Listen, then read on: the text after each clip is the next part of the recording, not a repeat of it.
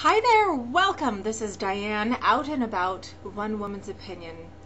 It is my thrill and my honor and my pleasure to review a very, very special performance that I went to at the Orange County Performing Arts Center. Me see that. At um, this week, I went to see Topol, the original Topol, on Fiddler and the Roof. And that man right there, his name is Topol. That's his real name. And actually, this is his farewell tour. And I, I don't need. I I, it's, I don't know where to begin because there were so many things about this particular performance that were so moving to me and touching and I just I, I know that I did a special little hair roller set even in honor of it as I was going and I and I intended on doing the review when I got back home but I ended up sleeping at my girlfriend's house that night and I just I just didn't get to my review until right now. But I didn't want to miss this opportunity and talk about if for some reason ever this comes across um, Topol's desk that he gets to see my review I'm going to try not to be emotional because it was so fabulous. This is one of the gifts of enjoying the arts is how they touch us and how they touch our hearts. And um, I try to collect myself. You know, you just, the power of watching excellence in other people as they express their talents and gifts with us is just, it's just I don't even know how to say it. It just moves you to tears. There was a great quote by Edgar Allan Poe that I posted on my Facebook that talked about, you know, beauty in its forms moves the very sensitive to tears. And that's that's I guess what I experienced when I went there. Um, plus, if you're a fan of Fiddler on the Roof and you saw the movie of it, you know, back in the early 70s, first time I saw it, I went on my eighth birthday, and I remember I got a, a pack of red vine licorice all to myself, and we went as a family to go see this movie. And so many, many years later, decades later, actually, to see the same man who performed in the movie, um, I had seen him before also in a live performance doing um, Fiddler on the Roof. And for some reason, when I saw it about 10 or 15 years ago, you know, he just wasn't into it. It was sort of like the poor guy has had one role to span his whole entire career. But this performance was electrifying. It was magic. He came out and you know the whole the whole entire audience was so riveted and you know in the moment realizing this is a moment in time. We're making history. You know, he's got three more performances of his career to do this amazing role that he has, you know, been born for, I think. And he came out and just this swell of applause just flooded the entire, you know, theater.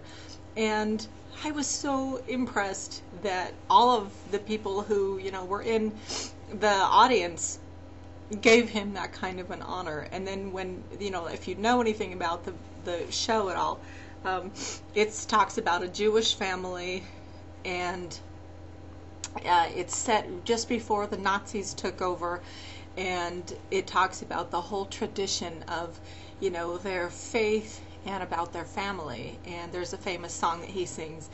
If I were a rich man, and then boom, and as soon as he did that, absolutely he got a, a you know a full on applause, a swell of applause again because that's his like famous famous scene, and uh, the whole thing of it, you know, being close to God, reading the good book, having man and a woman and children and family and working hard.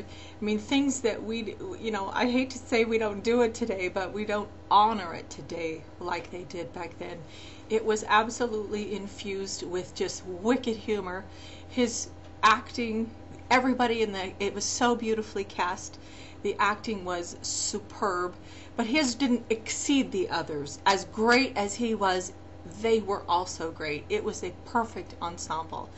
Um, another thing that I, you know, I don't want to fail to mention, as we were going in, um, you know, per, you know, per, surveying the crowd, it was such a honoring, classy crowd. This is set sort of in the, the Beverly Hills of the Irvine area, and these people were dressed to go to the theater.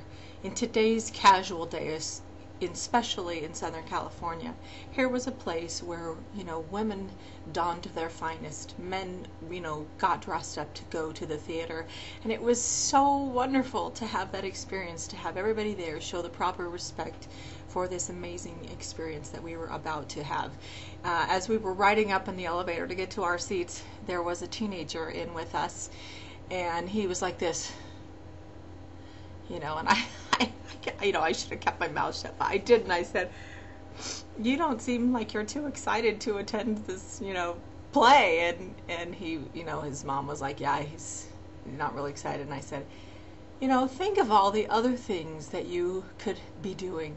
That you, you know, the, all the awful things in the world that you could be doing, but you, you get to be here and watch this amazing performance of this man who this is his whole career. We're watching his last couple of days. You know, do you know how lucky you are? And he was just so, you know, like teenagers. Why did teenagers have to be so icky sometimes? You know, mm. you know, it's just like, oh, but you know, if you're in a company where you see a lot of elderly people, you're probably in a really cool place because they've lived a few years and they know what things are worth spending time and money on. You know, and they go, and I, I love it when I go to a place and I see a bunch of elderly people who are, you know, classy, together kind of people because that means I'm in good company. You know, this is a, a, a, crowd of wisdom and experience here. Well, as we were leaving, we happened upon this young man, and I said, Oh, well. And he said, That was awesome. You know, I'm really glad that I got to be here. And then in, in the intermission, I heard this couple behind us. He leaned over and he kissed his wife or his girlfriend, and then he said, "Thank you so much for you know." Uh, having this experience this i'm really enjoying myself so i don't know how to give this any more of a glowing review if there were five stars or ten stars whatever would be the maximum plus two i would give it because this just filled my heart totally filled my heart with its beauty and majesty and artistry, which is one of the reasons I love theater.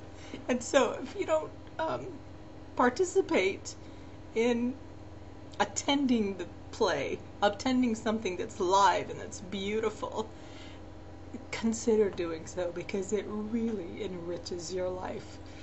So thanks for watching. I know I, you know, don't get too emotional, but this one was just a winner all the way around. I'm Dianne, one woman's opinion.